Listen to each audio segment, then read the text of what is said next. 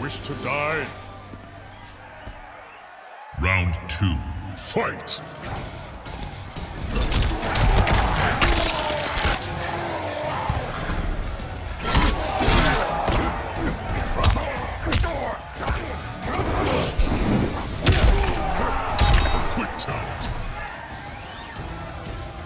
It is ended.